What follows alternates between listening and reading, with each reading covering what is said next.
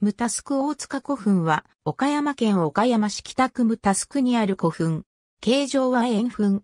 国の史跡に指定されている。屋殿大塚古墳、高森塚古墳と並んで、岡山県三大巨石墳の一つに数えられる。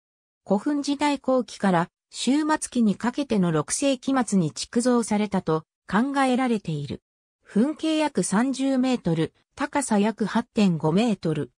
ムタスク集落内にあり、周囲に道路が通り古くより、裾部が削られているが、復元すると直径40メートル、高さ10メートルを上回る大型の円墳であると考えられている。南側に花崗岩の巨石を組み合わせた横穴式石室が開口している。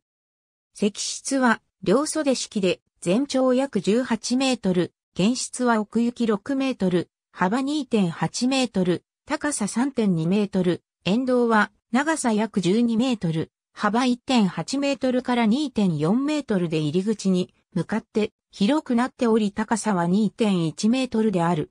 原室には長さ2.88メートル、幅1.6メートル、高さ1.5メートルのくり抜き式手型石棺がある。石棺は貝殻石灰岩製で、岡山県茨城を計算で産出されたものである。石棺には洞窟のため小口の穴が開いている。古墳は古代山陽道が旭川を渡る地点の近くに位置する。